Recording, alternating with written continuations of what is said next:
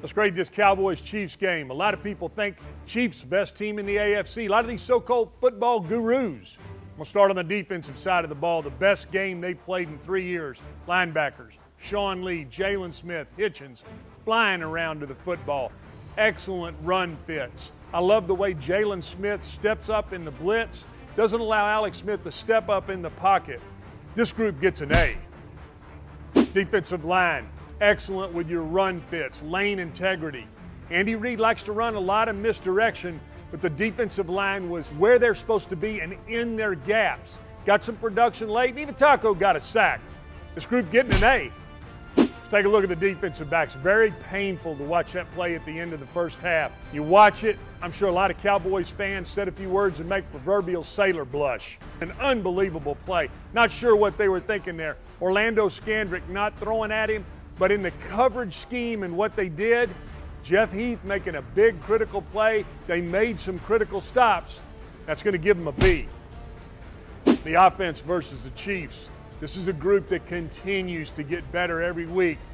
Dak Prescott, excellent job. I love how you keep plays alive with your feet, able to move around in the pocket, and then when they give it to you, you go ahead and make the runs. Best throw of the day when you run the boot and you hit Beasley for the touchdown. Took some deep shots. I, they didn't hit them, but taking deep shots is what's going to get you over the top. I got to give him an A. Another hard hat day for Ezekiel Elliott. Way to go, Zeke.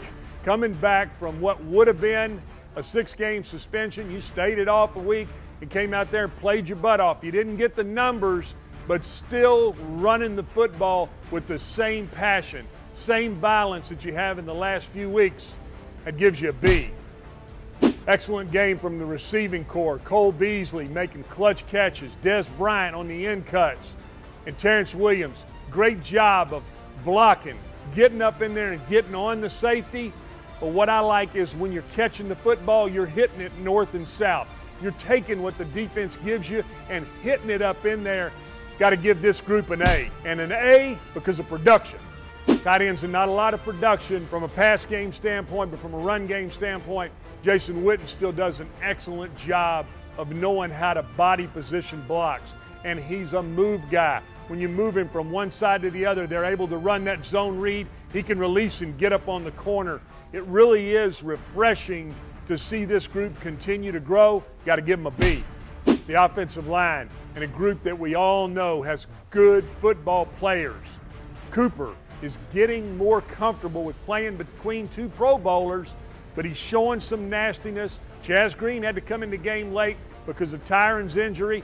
Tyron has not been practicing, and you can tell he's getting that, that bull rush is taking him back into the pocket. That's hurting him just a little bit, and that's causing this group to get a B.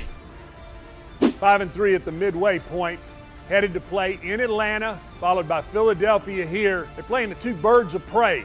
We'll say the Cowboys are going to come out and get both of these wins.